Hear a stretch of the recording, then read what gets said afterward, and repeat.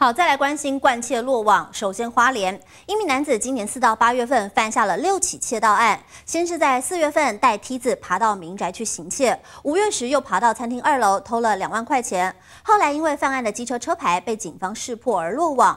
而另外在新北市板桥，则是有一名陈姓男子潜入娃娃机台店偷零钱箱，台主透过监视器报案，也成功逮到人。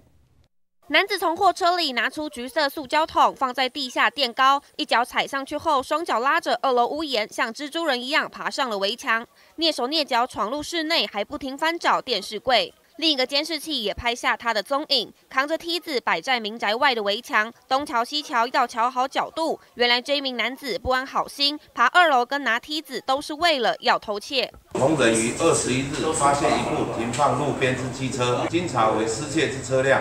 遂于附近埋伏，趁犯嫌牵车欲离去之际，当场逮捕。警方表示，这一名嫌犯是个惯窃，从四月到八月中共犯下了六起窃盗案。为了不被追查，还更换车牌，但最终还是被识破遭逮。而同样也是惯窃犯案，发生在新北板桥娃娃机店内。八号清晨四点多，一名男子蹲在机台前东摸西摸，不一会就拿出零钱箱搜刮里面的铜板，手法熟练。那你有偷到钱吗？没有。